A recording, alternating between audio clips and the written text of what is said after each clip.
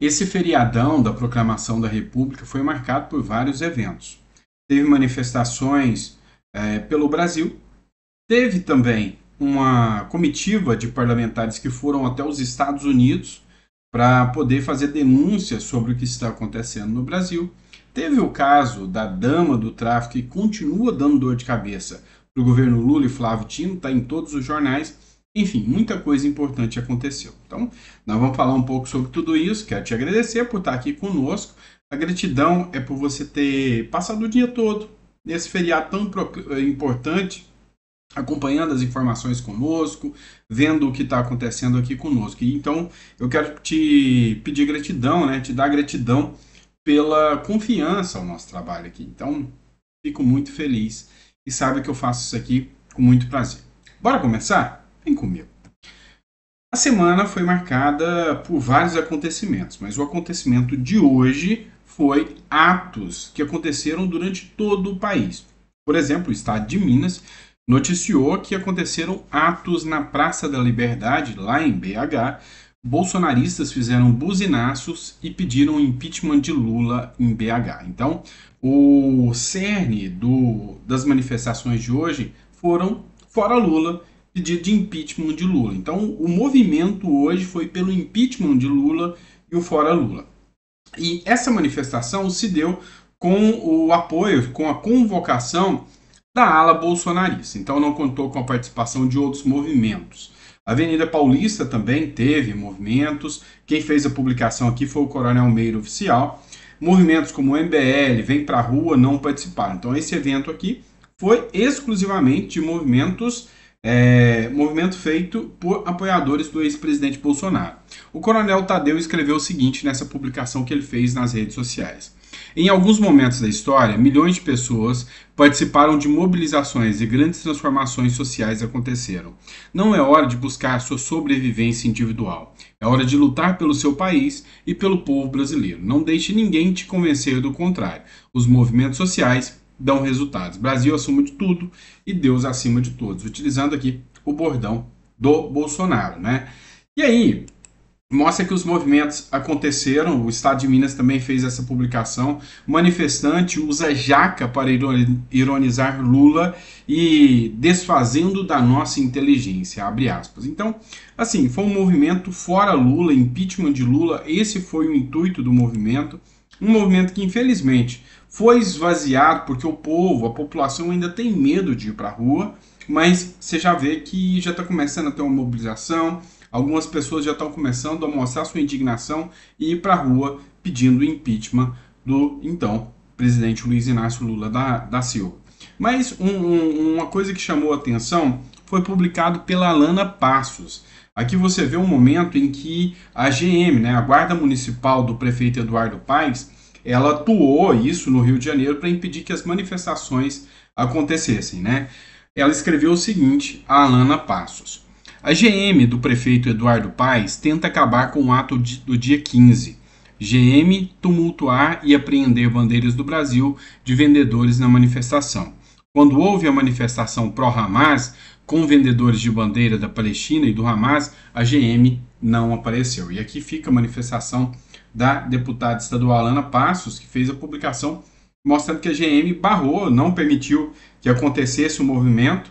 Aí você vê um senhor deitando na rua aí em sinal de protesto, né, tentando entrar de frente o carro da GM para a GM, a guarda municipal não sair, mas enfim, houve essa manifestação, houve esse movimento aí, onde a, a guarda municipal do Eduardo Paes impediu que acontecesse a, a, a manifestação. E ela fez a divulgação aí a da a Alana Passos, tá bom? Então, assim, a gente vê que os movimentos ainda estão acontecendo, os movimentos ainda estão é, sem o fôlego que tinha antes, enquanto Bolsonaro estava na presidência, movimentava milhões de pessoas. Durante os movimentos anti-PT, anti-Dilma Rousseff, começaram pequenos e ficaram grandes e assim, de certa forma, a população hoje teme essas manifestações, mas aos poucos estão perdendo o medo, estão começando a ir para as ruas novamente. E, e, é lógico que se não houver uma coalizão da direita, uma manifestação mais contundente, não vai conseguir fazer mobilização. Então é, é hora de deixar de lado egos, é hora de deixar de lado, de lado buscas por protagonismo e entender que o que está acontecendo hoje no Brasil pode ser muito sério e às vezes não ter, não ter volta. Então é hora de deixar os egos de lado. Ah, não gosto do MPL, ah, não gosto do Vem Pra Rua, ah, não gosto de, de certas pessoas que são em cima do muro. E da mesma forma, essa turma, ah, não gosto dos bolsonaristas. Eu acho que se a direita tem um interesse de se unir, é hora de eu começar a aproveitar isso agora, porque a esquerda está começando a entrar em colapso, ela está começando a se é, dissipar e ter conflitos internos. Enquanto isso, um grupo de parlamentares vai aos Estados Unidos para fazer um intercâmbio com parlamentares americanos. O intuito deles é demonstrar o que está acontecendo no Brasil. Quem fez a publicação foi o deputado federal Eduardo Bolsonaro, que escreveu o seguinte: Parlamentares brasileiros em missão nesse feriado nos Estados Unidos. Acompanhe nossas redes sociais. E aí ele fez essa publicação. E aqui você é, consegue perceber que tem o, um jornalista, o Paulo Figueiredo, ali do lado, tem alguns parlamentares, Ramagem, Capitão Alberto Neto, Gustavo Gaia, enfim, vários parlamentares, dois senadores aqui, fazendo o trabalho aqui é, de levar até os Estados Unidos, até os parlamentares americanos, denúncias sobre o que está acontecendo no Brasil. Dá uma olhada aqui. Fala pessoal, essa delegação de parlamentares brasileiros está aqui nos Estados Unidos, na capital americana, para trazer um pouquinho da realidade do que, que vem acontecendo no Brasil em termos de censura, liberdade de expressão, liberdade de imprensa, imunidade parlamentar para as nossas contrapartes aqui dos Estados Unidos, né, senador? É, estamos aqui exatamente na tentativa de que o mundo saiba que o Brasil vive um abuso pleno de autoridade. E o que nós vivemos na semana próxima passada votando a chamada reforma tributária, na verdade formou-se o cerco ideológico. Nós não mudamos de um presidente para outro, mas uma mudança de regime para que o mundo saiba de todas essas censuras que nós estamos vivendo, inclusive a intervenção e o desrespeito de um poder para com o outro no Brasil. É, nós estamos cientes das manifestações que estão acontecendo no Brasil e só lembrando a vocês que na Câmara, como teve esforço concentrado semana passada, a gente está aproveitando esse feriado de 15 de novembro para estar tá aqui trabalhando também, pensando em representar você. Um abraço, fique com Deus Vamos e acompanhem as nossas redes sociais para mais informações. Lutem aí que nós estamos lutando aqui. Valeu, pessoal. E enquanto isso, é, o deputado Gustavo Gaia fez uma publicação juntamente com a Júlia Zanata sobre parlamentares brasileiros. Como eu disse, é uma delegação que foi para fazer uma denúncia, não só contra o governo Lula, mas contra acontecimentos que vêm é, sendo apresentados aqui no Brasil. E aí é interessante um ponto. Um grupo de parlamentares brasileiros da esquerda fizeram manifestações pró-Hamas, pró-Palestina, e aí a, o Senado norte-americano já tinha dito que pessoas que se manifestassem pró-atos terrorismo, pró-Hamas, pró-Palestina, seriam impedidos de acesso uh, ao governo norte-americano, ou seja, de acessar o Estado norte-americano. Os Estados Unidos, não ia para os Estados Unidos. E aí, olha só, o Gustavo Gaia e a Júlia Zanata fizeram aqui uma publicação dizendo que vão fazer denúncias sobre uh, esses parlamentares e que eles não poderão mais ir aos Estados Unidos. Aí ela publicou o seguinte aqui. Ouvi dizer que tem gente se borrando de medo de perder o visto americano. Aquele povo que apoiou lista em apoio ao Hamas. E aí aqui eles fazem uh, o seguinte comunicado aqui, até com um certo tom de ironia, mas mandam um recado. Nós vamos fazer de tudo que esses parlamentares de esquerda, comunistas, socialistas não vão aos Estados Unidos. Ouça só. Ô Gaer, eu ouvi dizer que tem gente se borrando de medo porque nós estamos aqui nos Estados Unidos. Aquele povo que assinou a lista em apoio ao Hamas, sabe? Ah, aquelas entidades parlamentares de esquerda, né, que ficaram super chateados com a gente, porque a gente enviou a lista para a embaixada e agora a gente está aqui nos Estados Unidos, a 100 metros do Capitólio, vamos ter reunião com congressistas. É, talvez eles estão certos de estar borrando de medo mesmo. Medo de perder o visto para não poder mais ir para Disney. Que é, Cuba não precisa de visto, né? Não, não precisa. Foram irônicos aí é, na brincadeira, mas o assunto é sério. São parlamentares brasileiros que estão entregando uma listagem de entidades, de personalidades, de deputados que fizeram o movimento e assinaram a lista pro Hamas. E aí a coisa fica mais complicada. Pode ser que uma turma aí perca o visto americano e, como brincou a Júlia Zanata, não possa mais ir para Disney. Né? E aí a coisa complica um pouco mais. Vamos falar agora de Bolsonaro. Bolsonaro já está contando que poderá ser preso nos próximos dias. Quem traz essa informação é a matéria da Folha do Estado, mas que Bolsonaro tem uma carta na manga e que ele acredita que isso será eficaz. Dá uma olhada nessa matéria da Folha do Estado que diz o seguinte: Bolsonaro prepara carta na manga ao afirmar que é alvo do STF. O ex-presidente Bolsonaro foi surpreendido ao tomar conhecimento de que ministros do Supremo Tribunal Federal estariam considerando a iminência da sua prisão. Fontes próximas ao político revelaram que Bolsonaro expressou aos seus aliados a certeza de que estará condenado, independentemente dos argumentos que apresentar por, suas por sua defesa aos tribunais. Bolsonaro tem sustentado reiteradamente a visão que se tornou alvo político do STF, afirmando que, mais cedo ou mais tarde, tentarão prendê-lo. Essa posição foi reforçada por informações do jornal O Globo, que mencionou que ministros do STF avaliaram a alta probabilidade de prisão do ex-presidente, destacando como crime mais grave uma suposta tentativa de golpe de Estado.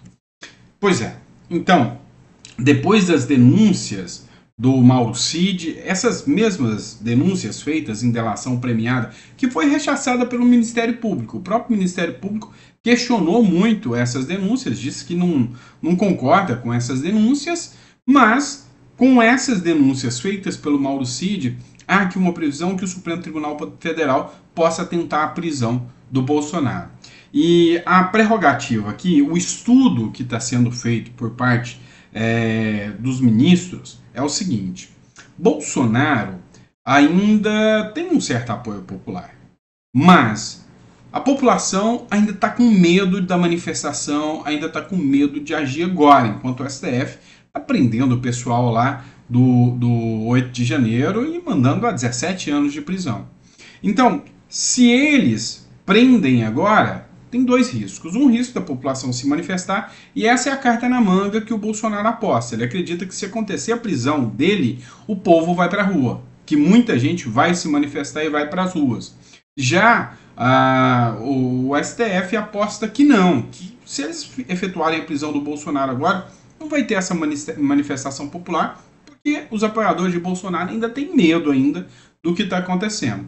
E se eles deixarem passar o tempo, pode ser que esse medo vá se perdendo. E se esse medo se perder e eles precisarem prender o Bolsonaro lá no futuro, aí sim a população vai para cima. Então, ah, essa previsão é do próprio Bolsonaro, não é achismo meu, tá? Tá bem especificado aqui nessa matéria. Se vocês quiserem assistir, vocês podem ler aqui a Folha do Estado, tá? Bolsonaro prepara uma carta na manga e afirma que é alvo do STF, matéria de hoje, tá? Então pode ser que o STF tome essas medidas bem rápidas aí contra o Bolsonaro, determinando aí a prisão do Bolsonaro. E Bolsonaro aposta que se houver a prisão dele, o único meio é o povo nas ruas se manifestando. Vamos lá, tem mais uma matéria que eu preciso trazer para vocês agora, e agora é a Folha de São Paulo criticando o governo Lula. Não sei se vocês sabem, o Bolsonaro tinha editado uma resolução, uma, um decreto, onde ele permitia que trabalhadores trabalhassem aos finais de semana, independente de acordos e convenções com os sindicatos. Isso aí, o setor, é, principalmente do varejista, supermercados, gostaram muito, porque puderam trabalhar sem aquela interferência gigantesca do Estado impedindo o trabalho aos finais de semana, feriados, e o comércio teve ali uma contratação maior, um resultado maior. Então, é, é uma medida que eu mesmo sou tributarista, então eu atuava muito com donos de supermercados. Então, já atuei com grandes é, setores de supermercado e os próprios é, donos de supermercado eles falavam: ó, oh, a gente teve que contratar mais, a gente movimentou mais por causa dessa medida que o Bolsonaro implementou. Só que o Lula agora ele revogou essas medidas do Bolsonaro e agora ele impediu, de certa forma, atrapalhou que setores varejistas possam ah, trabalhar aos finais de semana e feriados. Isso aí nem a Folha de São Paulo gostou e a própria Folha de São Paulo bateu no governo Lula em cima disso aqui. Matéria da Folha de São Paulo. Governo Lula dificulta o trabalho aos domingos e feriados no comércio. O Ministério do Trabalho e Emprego alterou a portaria publicada em 2021 que liberava de forma permanente o trabalho em feriados para uma lista de setores sem necessidade de negociação com os trabalhadores. A medida afeta em especial o comércio e serviços. Segundo a nova regra, os trabalhos. É, segundo a nova regra, o trabalho nos feriados só poderá ocorrer se tiver previsto em convenção coletiva, diz a portaria 3665, assinada pelo Ministério do Trabalho, ministro do Trabalho, Luiz Marinho e publicada no Diário Oficial da União. Pois é. Afeta o comércio, atrapalha o comércio, atrapalha a contratação, vai gerar desemprego, vai gerar caos e é um populismo barato, é um populismo sem graça que vai custar caro, vai custar inclusive desemprego, vai custar inclusive o emprego das pessoas. E por que, que eu estou falando isso? Porque um dos setores que vai ser afetado é o setor do comércio, mas setor de serviços também. Olha essa última matéria aqui do valor econômico. E eu, para me pautar ah, nas questões econômicas que eu trago aqui para você, eu sempre utilizo é, dados obtidos através do valor econômico. Olha só, o setor de serviços cai 0,3% em setembro e contraria as projeções. Com o desempenho de setembro, os serviços estão em um patamar 10,8% superior ao do pré-pandemia em fevereiro de 2020. Então vamos lá. Está superior ao pré-pandemia, mas a gente precisa analisar como estava em 2022. Serviços crescem 0,9% em setembro, acima do teto das projeções e batem recorde. Vejam que essa matéria é do dia 11 de 11 de 2022, enquanto que a última matéria discutida aqui é a matéria de 14 de 11 de 11 de 2023, exatamente um mês depois. No ano passado, teve uma alta com recorde de 0,9, agora uma baixa de 0,3, ou seja, 0,12% menor do que no ano passado. Medidas políticas erradas, medidas econômicas erradas estão dando esse resultado. Infelizmente, a gente sabe que o mais afetado no setor de serviço, quando ele cai, é o prestador de serviço, que tem aí uma redução na sua receita, e o empregado, que também é um setor que emprega muito, por exemplo. É, eu trabalhei no setor da construção civil muito tempo. Para quem não sabe da minha história, eu fui gesseiro durante 12 anos. Sabe aqueles forros de gesso? Pois é, eu montei aqui lá, paguei a minha faculdade em cima do andame mesmo. Foi trabalhando em cima do andame que eu ralei para poder pagar a minha primeira faculdade. Né? Hoje eu já tenho mais de uma. Mas foi a minha primeira faculdade, foi em cima do andame. E aí o setor de serviço emprega muito. Eu mesmo comecei sozinho, em cima do andame, depois coloquei gente para trabalhar comigo. Teve momentos que o setor de serviço estava bom, eu cheguei a ter oito pessoas trabalhando comigo. E é assim que funciona. Essa semana mesmo eu tive que arrumar as calhas aqui de casa, vieram uns cinco ou seis funcionários aqui para colocar aqui, por causa das chuvas que aconteceram. Então é assim que funciona. O setor de serviço gera emprego, e se ele cai, a economia desacelera. E não adianta colocar a culpa nos feriados. Né? Afinal, o próprio é, Ministério do Trabalho está querendo aí que o setor de serviço, o setor de comércio, não trabalhe aos, aos domingos e feriados. Vamos lá, vamos falar da dama do tráfico, que se tornou uma celebridade do dia para a noite, né? Vamos lá, até a Globo, até a Globo resolveu criticar até o Reinaldo Azevedo. Eu ia trazer uma matéria aqui do Reinaldo Azevedo catracando o governo Lula. Ele que se tornou um dos maiores defensores do petismo. Mas olha só, matéria da G1. Se a G1 não é mentira, sempre fala a verdade. Ministério confirma que pagou voo para mulher de chefe de facção. Como assim? É lícito uma mulher de chefe de, chef de facção? Ela é ligada ao tráfico? com toda certeza, e o Ministério dos Direitos Humanos bancar isso? O Ministério dos Direitos Humanos e Cidadania confirmou na quarta-feira que custeou a passagem a Brasília de todos os participantes do encontro de comitês e mecanismos de prevenção de combate à tortura, incluindo de Luciane Barbosa Farias, mulher do chefe de uma das maiores facções. Será que eles vão alegar que não sabiam quem era ela? Como é que você paga Como é que você investe dinheiro é, numa viagem, um dinheiro num, num, numa pessoa que vai estar participando de um evento e não sabe quem é essa pessoa? Como que você faz esse investimento sem saber quem é esse indivíduo que vai estar recebendo o dinheiro público? Então não tem como você é, manter aqui essa linha de raciocínio de que ah, o governo não sabia de nada. É estranho, no mínimo muito estranho você dizer isso. Enquanto isso, o deputado Sanderson faz uma publicação aqui é, sobre uma matéria da, da, do Metrópolis.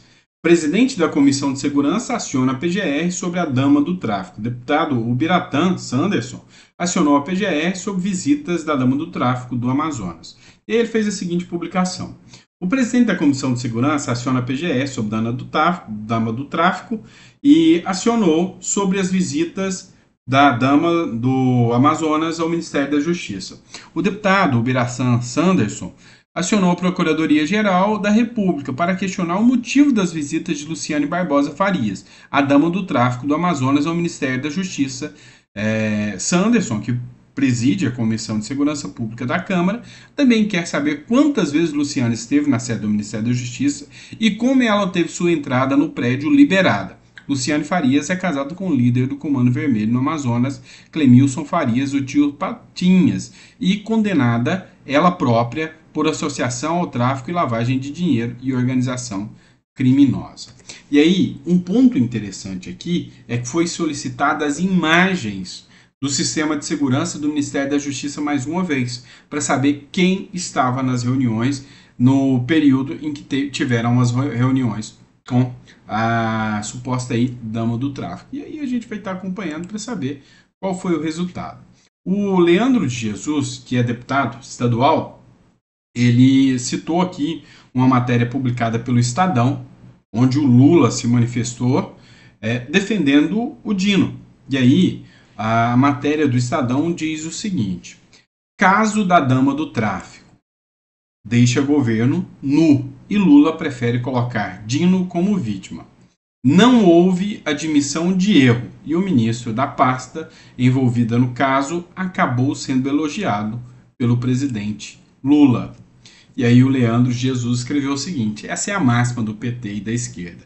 Repudiar o que eles defendem não é democracia, mas sim fascismo, fake news. Explicar que é bom, nada. O que a dama do tráfico tratou com o governo Lula, e ele faz a indagação, que será que essa dama do tráfico tratou com o governo Lula a ponte ser custeada. E aí também outro deputado estadual também, dessa vez de São Paulo, fez uma crítica a uma matéria da Folha de São Paulo que trata do Silvio Almeida. Silvio Almeida, que é o ministro dos Direitos Humanos, ele que bancou a passagem da dama do tráfico dentro do seu ministério, não ele, mas o ministério dele, né, que bancou a passagem. O Silvio Almeida atribuiu a fascistas ataques ao governo envolvendo a mulher do líder do tráfico. Então, dizer que quem questionou, quem está que fazendo os ataques, questionamentos e críticas são fascistas. Para você ver que há uma distorção da realidade sem tamanho aqui, chamar quem é o pagador de impostos, quem banca isso de fascistas. É uma narrativa muito torpe esse tipo de narrativa. E aí o carteiro Reace escreveu o seguinte: recebeu a dama do tráfico dentro do MDH. Carteiro Reaça, para quem não sabe, é o deputado estadual Gil Diniz, tá bom? Ele é conhecido como Carteiro Reaça na, nas redes sociais. Pagou passagem aérea com o dinheiro dos contribuintes para a dama do tráfico? Culpa do fascismo? poderia ser só uma a piada, mas é triste a realidade de um país desgovernado pelo PT. E aí eu acho assim um absurdo quando Pessoas que recebem dinheiro público são questionadas, criticadas por algo que não agrada em ninguém da sociedade ou alguém da sociedade apoiaria o Ministério da Justiça e o Ministério dos Direitos Humanos estar recebendo integrantes do tráfico organizado, bancando isso com o nosso dinheiro. Lógico que ninguém apoia. E aí, quando a crítica é feita, quando o questionamento é feito, a obrigação deles é responder e não criticar essa parte da sociedade chamando eles de fascista.